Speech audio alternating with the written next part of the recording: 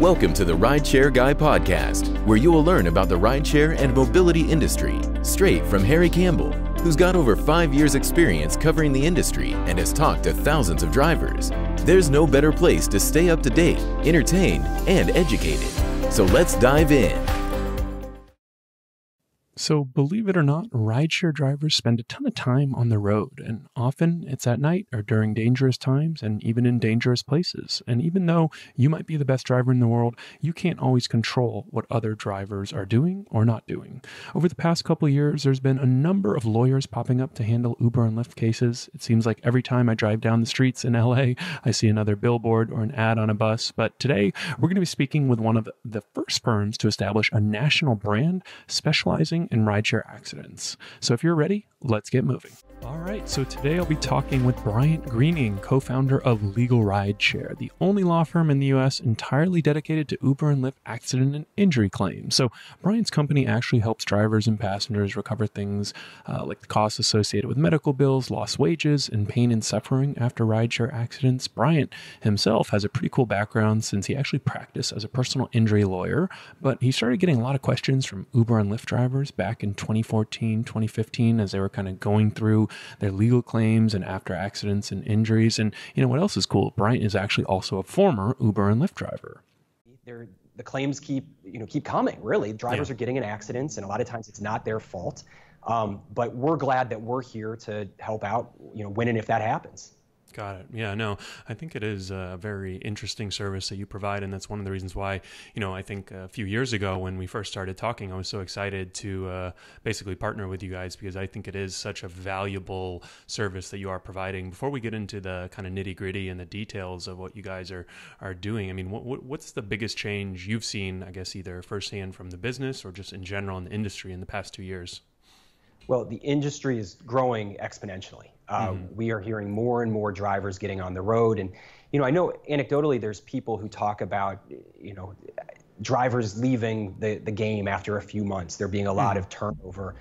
What we're seeing are drivers who are sticking around. You know, we mm-hmm. talk to drivers every day who have been driving rideshare as their exclusive means of income for several years. This is yeah. their business. Um, and when an accident happens and they're taken off the road, these people are are left without any income. They're left without yeah. any means of putting food on the table. Um, and as rideshare becomes more ingrained in their life, you know, they've been doing it exclusively for mm-hmm. several years. Uh, there's no other means for them to to provide. Yeah. So we've yeah, seen that. Got it. Yeah, it does seem like if people are able to really figure out rideshare, they can kind of keep doing it, you know, through the bumps and the valleys and, you know, anything that Uber and Lyft might throw at them um, and kind of just make things work and figure it out. Yeah, you know, so when a driver is taken off the road, uh, mm-hmm. whether it be because their vehicle's damaged or they've got an injury that prevents them from driving, a, a lot of times it's a feeling of helplessness and it's a feeling of being lost. Um, and we are seeing that over and over where drivers call us and they say, What do I do? Yeah. And, and really, that's why we're here. You know, we answer those questions and we put you uh, hopefully on the path to one physical recovery and two financial mm-hmm. recovery. Yeah. So if I'm a driver and I get into an accident, um, what uh, what are my steps? How, how do how do you engage typically with these drivers? Well, there's two things to think about. One is general accident advice, and 2 mm-hmm. is if you're injured. Um, in every accident scene, you want to call the police right away to make a report. Mm-hmm. The police report is really the most important piece of evidence in your case because mm. it happens at the scene or soon thereafter. Yeah. Uh, you're documenting, you know, what happened, the parties who were involved, uh, what the vehicles looked like, uh, you're getting passenger contact information, which can sometimes be really difficult to find after the fact. Yeah. Um, so that needs to be step one. Uh, after you make that report, um, you know the rest of the steps follow. Got it. Yeah. I mean, so is there anything that uh, I guess that you know I guess that's what happens once you get in the accident. Is there anything drivers do beforehand? What have you seen? Like, what's sort of the number one or two recommendations? I know we've always told drivers they should get a dash cam and I guess proper insurance too. I'm, I'm assuming those are helpful. I'm, I'm curious to know if it um, is a must get or not. That's it. When you drive for Uber or Lyft or any other rideshare company, mm-hmm. you need to mm-hmm. understand that you're an entrepreneur. Yeah. You own your own business and you need to ensure that you protect that business. Yeah. Uh, the first thing is making sure that you get that rideshare endorsement. That's mm-hmm. going to do a couple things for you.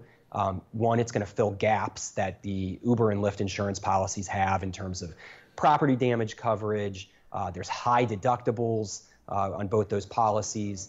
Uh, sometimes they don't provide uninsured motorists. So if somebody hits you mm-hmm. and flees the scene, or if somebody hits you that doesn't have insurance, um, your rideshare endorsement is going to come in and make sure that you're properly covered and, and protected.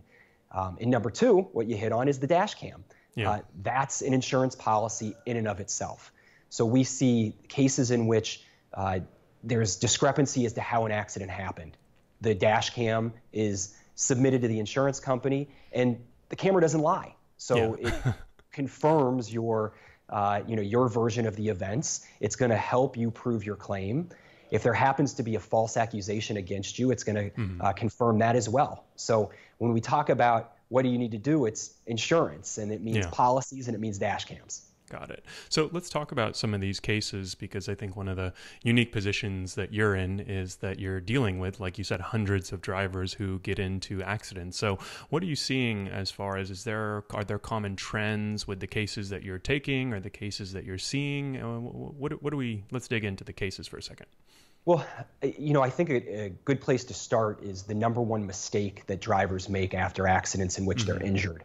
So a lot of times drivers will feel pain but decide not to get treatment because yeah. they're worried about the costs or they're, they don't have health insurance or whatever the reason. Getting treatment is the first step to proving your injury claim. Mm. Now, I'm never going to tell somebody to get treatment that they don't need. But if you are feeling pains, if you're feeling limitations, things aren't getting better a day or two after the accident, you've got to get in to see a doctor. Got Whether it. it's a hospital, a primary care doctor, in urgent care, it doesn't really matter, but you're starting the process. And when insurance companies ultimately decide whether you've got a valid case, whether your mm-hmm. injury claim is worthy of compensation, they're going to want to know how soon after the accident did you go get that treatment? And if yeah. there's a large gap, they're much more likely to deny your claim. Interesting. And I will say, you know, one of the things, uh, you know, one of the reasons why I want to have you on too is a lot of uh, this advice, if not almost all of it, kind of applies to any driving, right? Not even necessarily Uber and Lyft. I think if you get into any type of accident, you're going to want to follow a lot of these steps. So I think it's definitely valuable information for a lot of people. So if I'm a driver, I get into an accident, um, what, you know, what if I don't have health insurance or, you know, what if I'm just a typical driver who probably isn't going to go, you know, to the doctor? Right. Maybe I'm trying to tough it out. Is it too late at that point, or uh, what can they do? No, if you're the typical driver or a rideshare driver, or you know anybody else on the mm-hmm. roadway, mm-hmm. bicyclist, pedestrian, yeah. If you get involved in an auto accident and you feel pain, toughing it out is really the worst thing that you can do because mm-hmm. if those pains don't resolve, and you've waited a couple weeks or a month to go to the doctor, the insurance companies are going to, to say, well, why didn't you go get treatment? People that are hurt go get help. And if you don't, you're almost admitting, well, it wasn't that bad, or Got it, it might not be related. Um, so you're right, Harry. Everything that we're saying here today in terms of medical treatment applies to rideshare driver or uh, you know non-rideshare driver alike.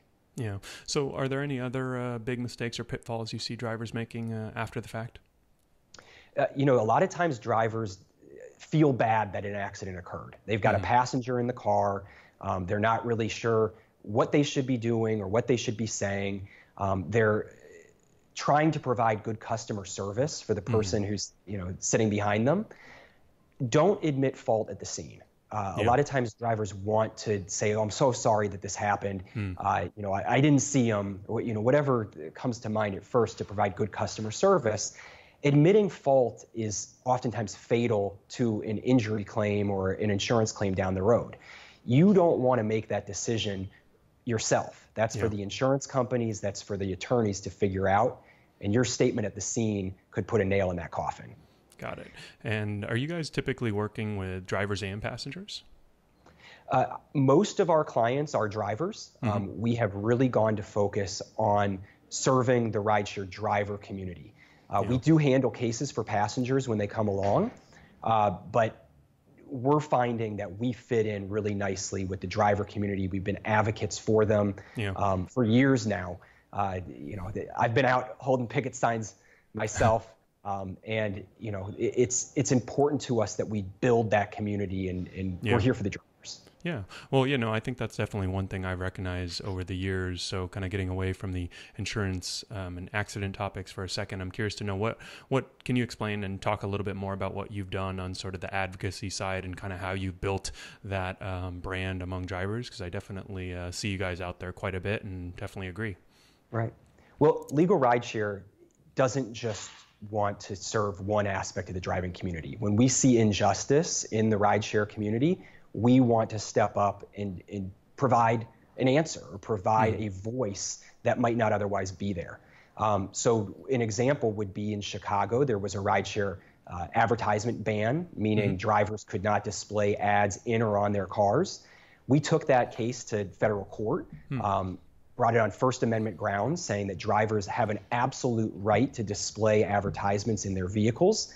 The city dropped the case, uh, you know, soon after it was brought, realizing that they had um, a losing argument. Um, and we, are I'm looking right outside now, and I see a couple of rooftop ads driving by. Nice. We've got people who are wrapping their vehicles, and ultimately that means extra income for drivers. It provides steady yeah. income, a floor to earnings. Um, and you know we're happy to be those advocates uh, to to put money in people's pockets. Yeah, yeah. So it sounds like you guys are actually working, you know, beyond just the accident side of things, and you know, sort of the the causes and cases that uh, drivers, you know, might need advoc- advocates for. Um, are there any other uh, areas besides that? Yeah, when you know, AB5 is a big topic right now mm-hmm. in California, and we're seeing other states uh, proposing similar regulations. Um, yeah. If you're unfamiliar, AB5 is, is really giving employee benefits um, to rideshare and, and gig workers. Um, mm-hmm. Drivers fall on all sides of that issue. Some people want to be employees, some people don't want to be employees. But what we ultimately need to see or, or, or work for is fairness. Yeah. Um, coronavirus is is huge topic right now. Um, we're seeing that drivers are being taken off work, unable mm. to drive. Uh, rideshare companies are saying if you feel ill, don't work. Yeah. Um, and for an extended period of time, they were not providing compensation. They were mm. assuming that the driver somehow had the means to stay at home and, and not work their nine to five or yeah. five to nine, you know, whatever hours you're working. yeah.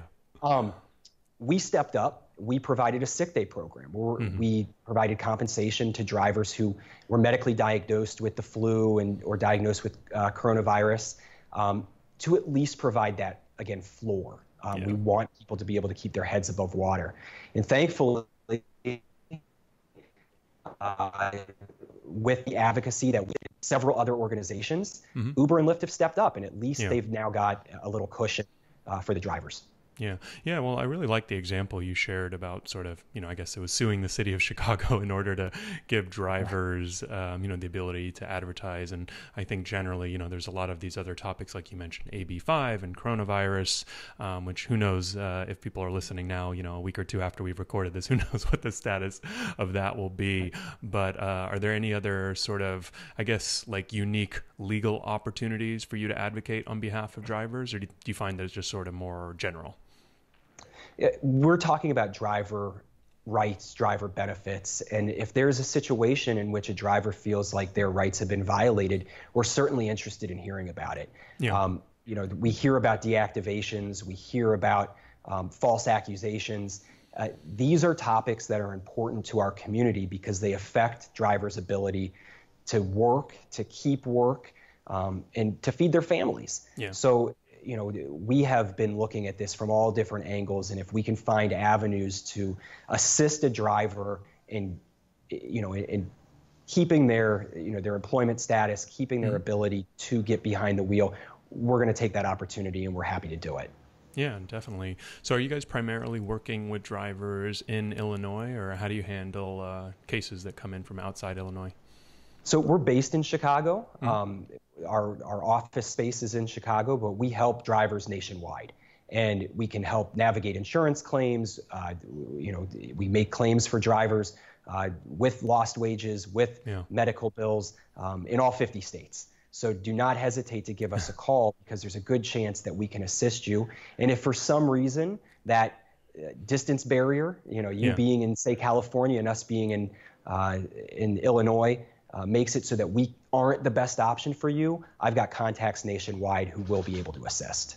Very cool. So, you know, one thing that I guess one observation I've had uh, since you last uh, came on two years ago is that it seems like there are a lot of other lawyers, law firm, big law firms, small firms that are really looking at, um, you know, I, guess what do we call this? The Uber and Lyft injury, you know, space. What do you yeah, call this space? Injury personal injury lawyers um, that, uh, you know, I guess for whatever reason have identified Uber and Lyft as this big opportunity for them. And it's I kind of joke sometimes that I get like an email every single week week from a different lawyer asking me about, um, you know, we, can, can you, you know, mention our services for free or whatever to all your drivers. And I usually, um, obviously ignore them, but um, it's just funny. It seems like the amount of interest in this space has really heated up in the past two years from the actual lawyers. I'm curious to know why you think that is. Well, lawyers are looking for opportunities, mm-hmm. and when they see a bunch of drivers on the road, it, you know, it, they recognize that those drivers may be involved in accidents that either they cause or somebody else causes, yeah. and you know that's an opportunity for some law firms. What we've done is made our entire practice based on rideshare. We are mm-hmm. legal rideshare. Yeah. These other firms that you see are Smith and Smith or uh, Johnson and Johnson or you know whatever whatever two names you want to put in front of that law firm. Sometimes three. sometimes three if they're really successful, right? Um, we want to make sure that our focus is the rideshare community, mm-hmm. and you know we navigate these cases all the time. Yeah. Uh, the, the truth is, a, another injury attorney probably could figure it out, but mm-hmm. we know how to get you what you need as quickly as possible. We've got yeah. the contacts at the the ride shares um, insurance companies. Mm-hmm. We've the contacts at the, the law firms that defend uh, Uber and Lyft.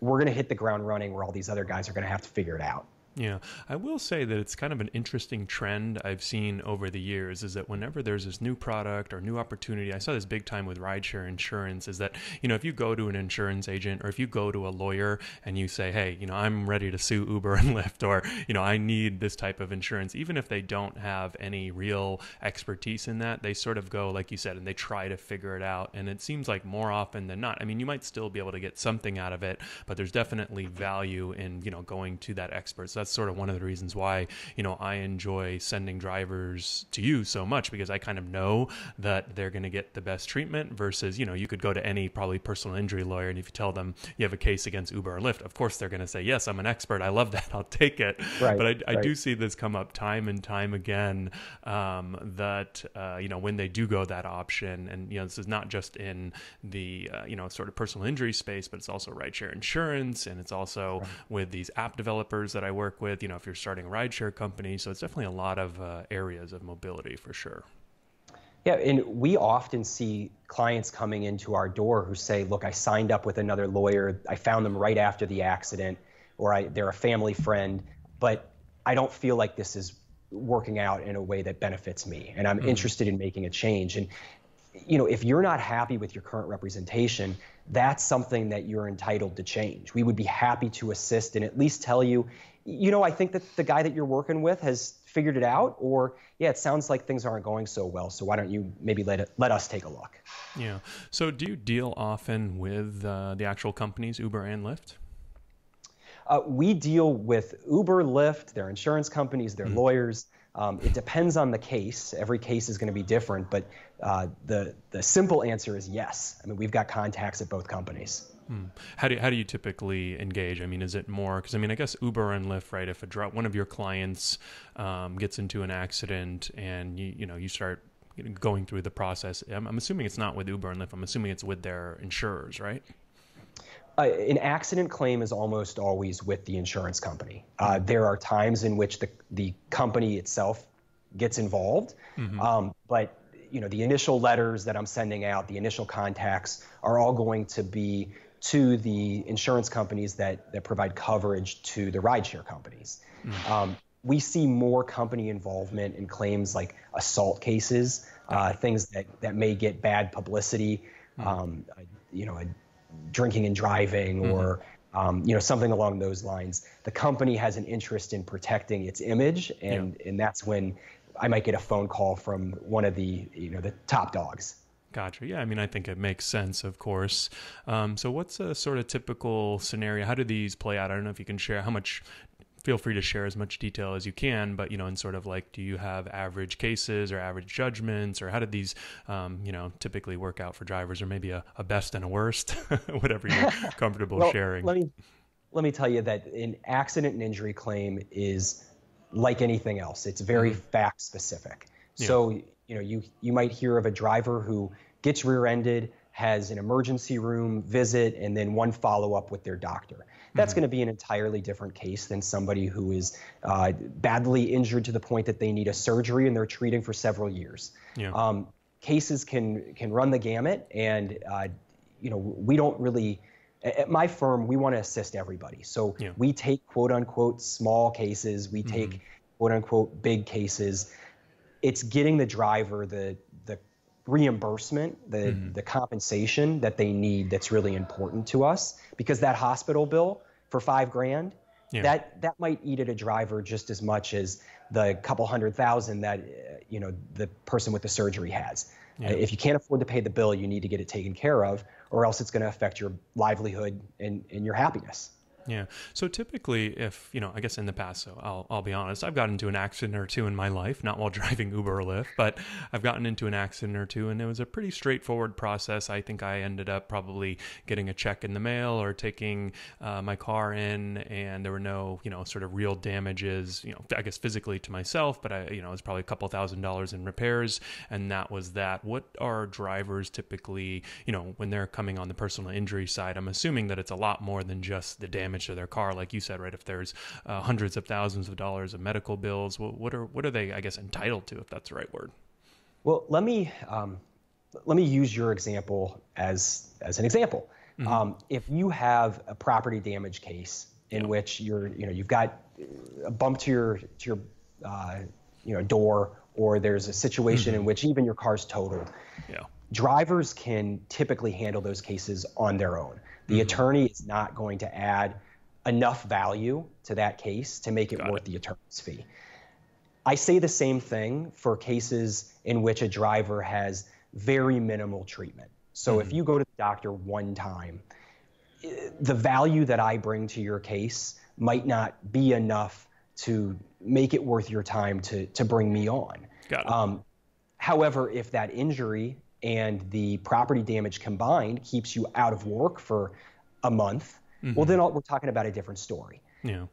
I tell drivers all the time when you have more than one doctor's visit, when you've got some lost wages, that's where the lawyer's going to step in and make time and your resources mm-hmm. to come in and see us. Yeah, no, that's interesting um, because it, it, does sound like they're entitled to a lot more than you know, the, I guess the property damage, right? There's the lost wages, and uh, I think it's called pain and suffering, and all of that, right?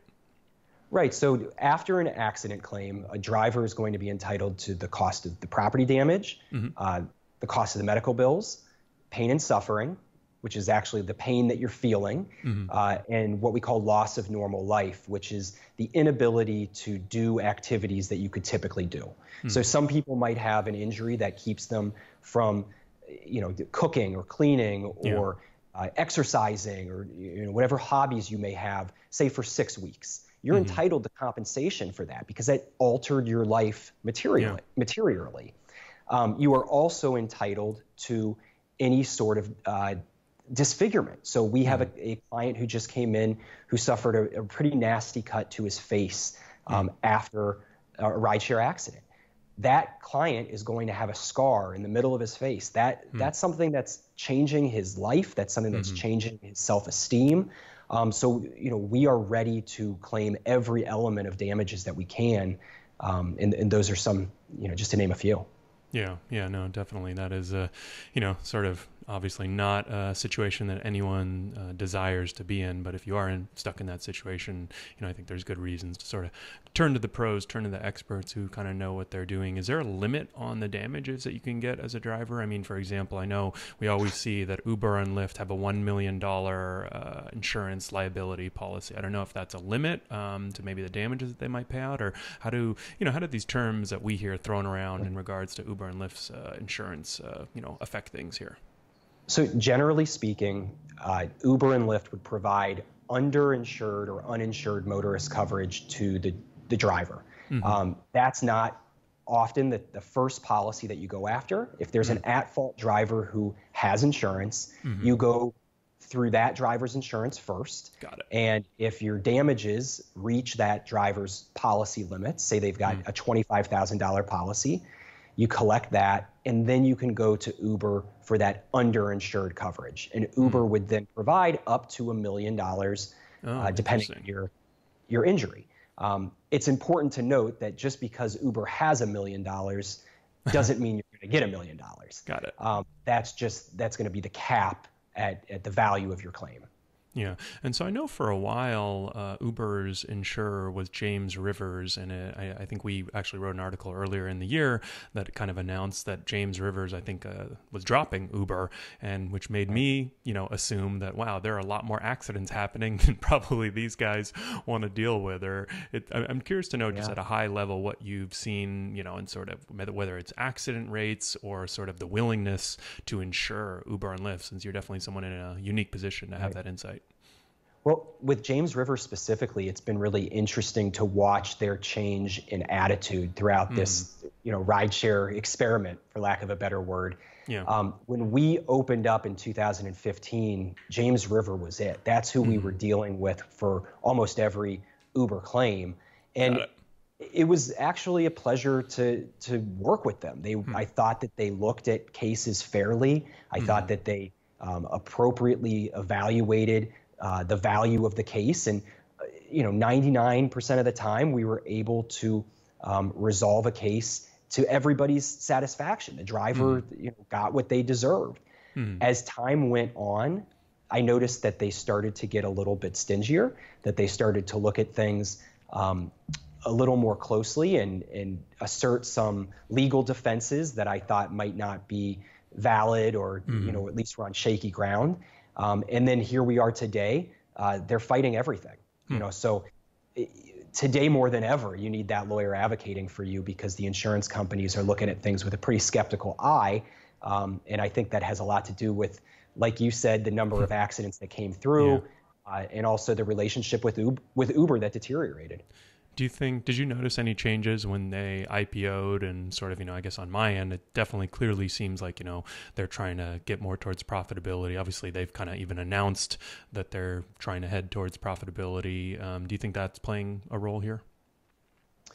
Uh, you know, I don't know that the IPOs for Uber and Lyft have changed the way that they're evaluating claims, mm-hmm. but it mm-hmm. has changed the way that they're presenting themselves to the public. So mm-hmm. you see the safety report that came out for Uber.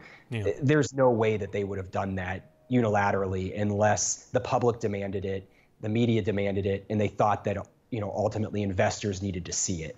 Mm-hmm. Um, there's a change in public relations and um, how that touches accident and injuries uh, I guess we're going to have to see, but I, I, haven't seen that yet. Yeah, interesting. So, uh, just quickly, do do most of your cases actually end up settling, or do these ever go to, I guess, a, a trial or a judge, or what's the actual, you know, outcome in a lot of scenarios for you and your clients? So, in litigation in general, the vast majority of cases settle. Um, okay. There are cases that go to trial, that go to arbitration. Um, but most of the time, the parties are able to find a meeting of the minds, uh, mm. find a, a, value that works um, to, to fairly compensate the driver. And sometimes mm. it takes uh, you know more time and, and perhaps more uh, effort, um, but ultimately we get it done. And whether yeah. that means you know taking uh, 20 depositions and going to the mm. medical mm. providers and uh, saying, doctor, you've got to explain to the insurance company exactly what's wrong. With you know with my client you know we get that testimony we send it to the insurance company and we say let's go it's time to settle this thing. Interesting. So I guess on Uber's side, you're now working with multiple insurance companies. And who's Lyft's insurance company right now? Uh, so right now, York Risk Services is, is still overseeing a lot of the claims. Uh, Progressive for um, Lyft is. I'm sorry. York for is Lyft. for Lyft. Yeah. York is for Lyft, um, and Progressive is taking over a lot of those Lyft claims as well in Illinois. Hmm. Interesting. Uh, for Uber. Uh, for Uber, Allstate is is taking over the majority of cases. Uh, there are also claims, um, you know, in other states. We're seeing other companies pop up here and there, but the vast majority is Allstate. Interesting. Yeah, no, it was a interesting, you know, because I think I've heard from others that have told me similar that, you know, James Rivers has kind of gotten a little stingier over the years. Um, so I, I will be curious to kind of watch that trend. And, you know, I guess I would assume that, you know, it would be, you know, more and more difficult, but it does seem like uh, you guys are eventually able to settle a lot of these cases. Like you said, it just is a lot more work. So I guess going forward, is, is there anything you think uh, drivers should be thinking about or anything that you're sort of looking forward to, you know, keeping your eye on in the next year, couple years? Well, you know, drivers, as I said at the beginning of our of our podcast, mm-hmm. need to make sure that they are taking themselves seriously as business people. Mm-hmm. Uh, when you sign into the app, you, you, can't just think of yourself as going out one night to make a couple bucks because yeah. things can change really quickly. Yeah. If you're driving down the street and you get rear-ended and you get hurt or your passenger gets hurt, your life is different from that day, that day going forward. Mm-hmm. So protect yourself from the onset. Make sure that you've got the right insurance make sure that you've got the dash cam and don't take chances in you know not getting a consultation with a lawyer as soon as possible. Give me yeah. a call. Shoot me an email. Visit my website. If nothing else i'll be able to tell you which path to take mm-hmm. how to handle a call from the insurance company and how to best protect your interests going forward. If you wait a week if you wait a month it's going to be harder. So yeah. there's just simply no reason to wait Cool. Yeah, and we'll definitely leave a link uh, to your information in the show notes. Is if drivers want to get a hold of you um, or just anyone in general curious more to learn more about your services, where's the best place? Uh, uh, I guess I'm looking at you right now and I see at Legal Rideshare. So I assume if I type that into any search box, you guys should pop up. But maybe you have more uh, specific contact info we can leave in the show notes. So legalrideshare.com is our website, and on there you can actually send us a message directly. It's going to come to my inbox. So um, don't hesitate to reach out there. You can call us at 312 767 7950. Um, and you can also email us at help, H E L P, at legalrideshare.com. Every single one of those contact forms is going to get back to me, um, and I will reach out to you to make sure that you're taken care of. Very cool, Bryant. Well, I appreciate all the work that uh, you're doing for drivers, and uh, hopefully we can catch up again in the future. Thanks, Harry. It was great chatting with you.